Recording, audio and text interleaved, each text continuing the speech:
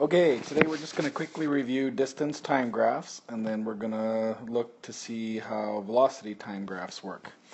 So yesterday we did distance time graphs, let's just quickly go through that. So if you have, in this case, the first orange section there, we're going from a distance of 0 up to 3 and our time is going from 0 to 3.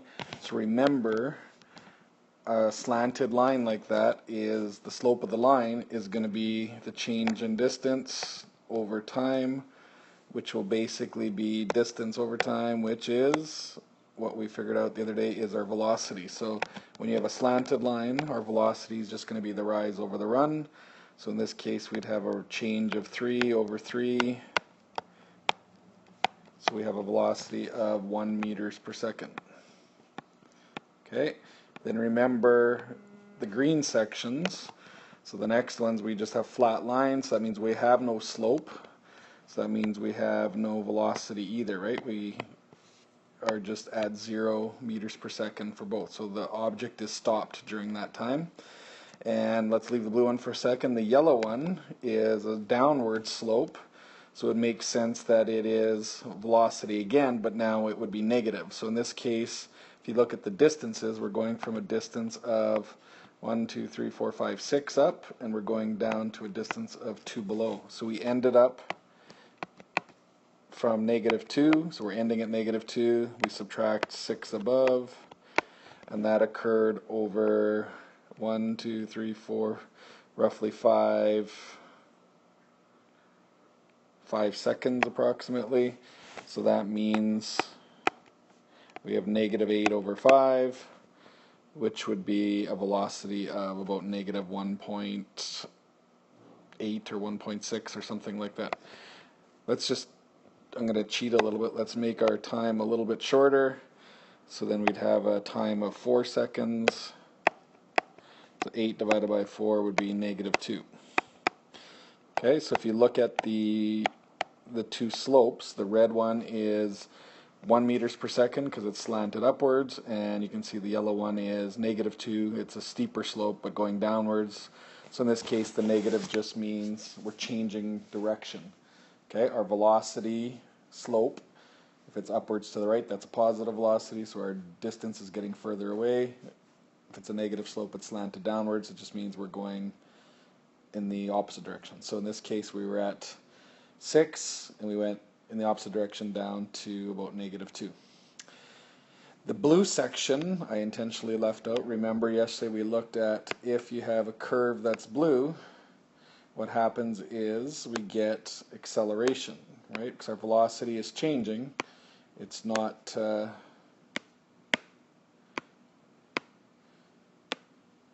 it's not not at a steady rate. So in this case, you can see our distance is getting faster and faster, or we're further and further away as time is getting shorter. So if it was a steady rate, that blue line would be slanted. And because we're getting more distance over less time, you can see it gets curved. So that's our acceleration. And we could also think of it as what would happen if we our distance was getting less and less as time went on. So you'd see that straight line would start to flatten out if we accelerated in a negative way. We started to slow down. So if our speed was slowing down, but we're still going in the same direction, we'd get an acceleration curve like that. If we're speeding up, it would be the first one that we have drawn there. So either of those cases, we have acceleration. We're both we're still going forward. So in both both of these that I just sh showed you, they're both going forward. Just the first one is speeding up. The second one would be slowing down. Okay, so both of those are acceleration. And what I want to do next is just quickly go through the acceleration curves. There's four different scenarios. So the one that we just looked at, so this first one was um, our speed. We were speeding up and going in a positive direction. So a good way to do this is to look at a little chart. So if we do speed up, or slow down. That's our two options. So, oops. Slow down.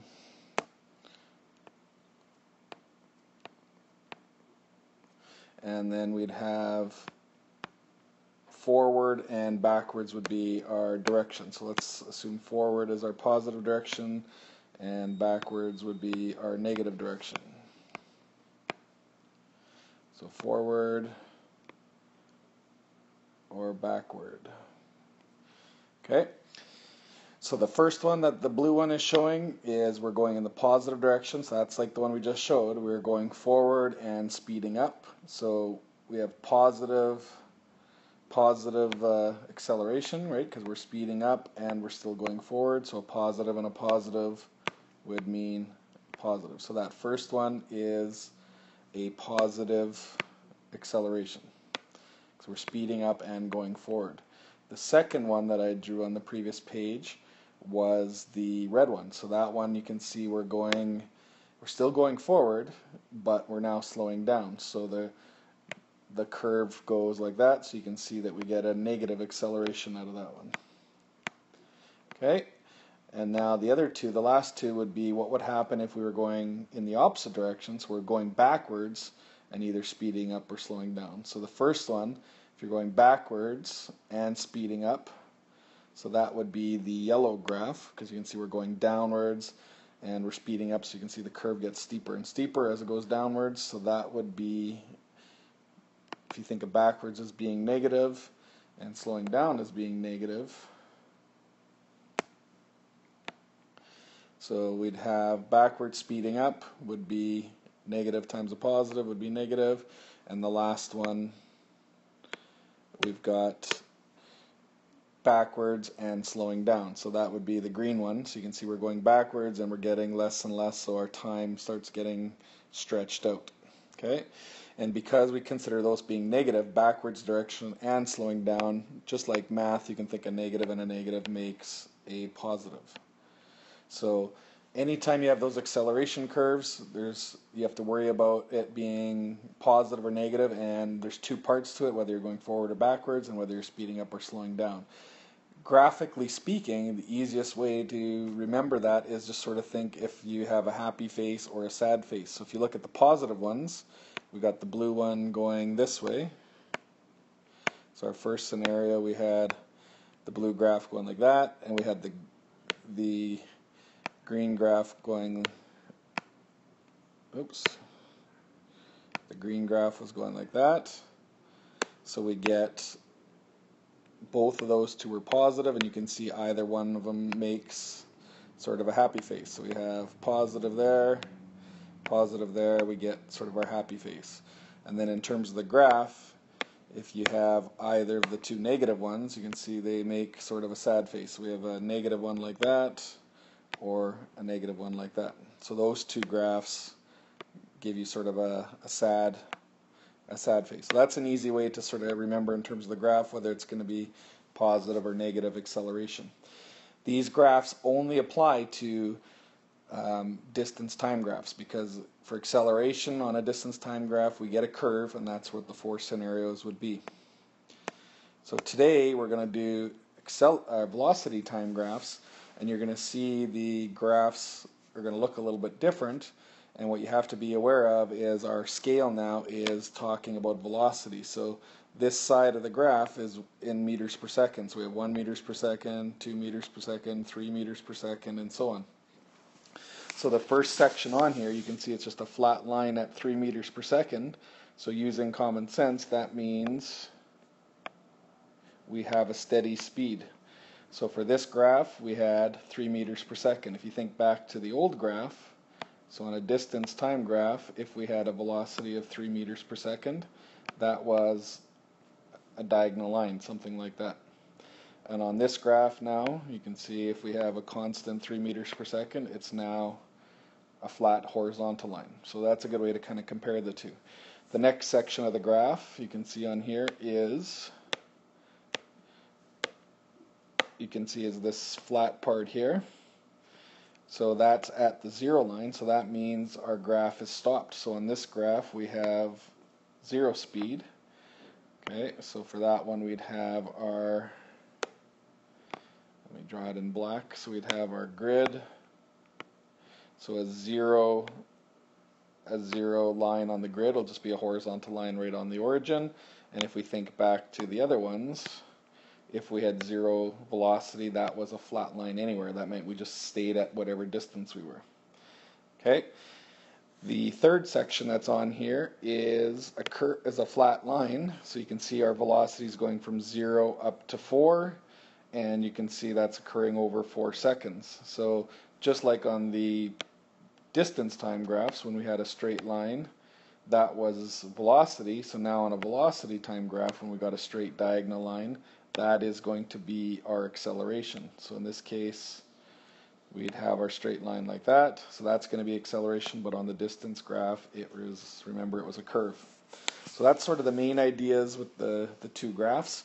So for this one that we just had here, we have a, a velocity change of 4 up, and our time is 4. So just like we did for calculating velocity, we can actually calculate acceleration the same way.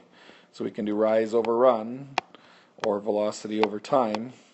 So in this case we did 4 meters per second over 4 seconds.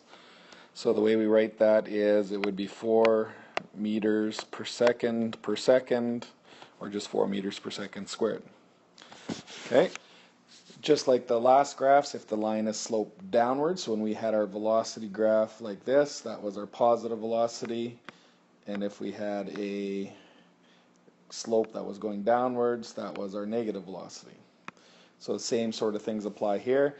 In this case, we have an upwards acceleration, so that was a positive acceleration. So the next section that we have on there would be our downwards slope, so that would be a negative. So we could do the same thing. We could go 1, 2, 3, 4, 5, 6, 7, 8, 9, 10. So we got a change in velocity of 10 going down and that occurred over one, two, three seconds. So in this case then our acceleration would be negative 10 divided by negative 3, which is negative 3.3.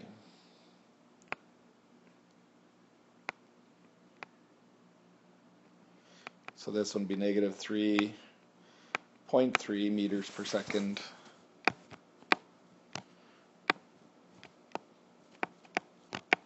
squared. Okay, so that would be the last one. And then our very bottom part of the graph again, you can see now we are, it's a flat line, so just like where we started, we started at 3 meters per second. The bottom is a flat line, so we'd be at 1, 2, 3, 4, 5, 6. So it would be at 6 meters per second, but it's now in the negative direction.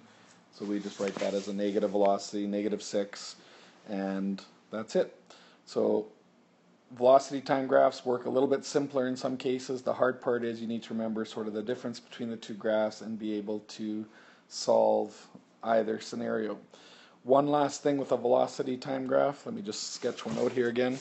So let's suppose we started at a constant speed and then we had an acceleration down to zero and that's it. So because these are velocity time graphs, there's one more bit of information that can be found by this graph, and that is displacement. If you think back to our formula, if we rearrange velocity equals d over t, we solve it for displacement, that would be the same thing as velocity times time. And if we think of uh, a section on the graph, so let's just look at this first portion. So this portion of the graph, if we actually do the velocity, which is the height of the graph, which is 5, and we times it by the time, which is the length of the graph. So you can see basically all we're doing is we're getting the velocity times time would be like length times width of a rectangle or base times height or whatever you want to call it. So you can see in this case then if we go 5 times 5 we get 25. So there's sort of a hidden section of the graph that we can get and that is displacement and basically displacement is just our area under the curve. So in this case, the area of the rectangle would be 5 times 5, so we get an area of 25 meters. So that would be our dis displacement. If it's a triangle, like we see for the second part, do the same thing. So the triangle you can see here now, we have a height of 5 still, we have a base of 5, but because it's a triangle, we'd have to go base times height divided by 2, which would give us 12.5 for our area. So the area for that triangle is 12.5 meters. So you only have to be careful if it's a graph, if it's triangles, make sure you cut that answer in half. And the reason for that is because we weren't going, even though we started at a speed of 5, we went down to 0. So if we average those out, we'd have an average of 2.5 uh, meters per second for our speed over the 5 seconds. So if we do velocity times time, 5 times 2.5, that would give us the 12.5 meters. So each of those sections we have those distances. So if the question was, what is your total displacement? So if we were trying to calculate the total displacement of this situation, we'd have 25 meters plus the 12.5. So our final answer would be 37.5 meters for that entire situation. And that's it. See you next time.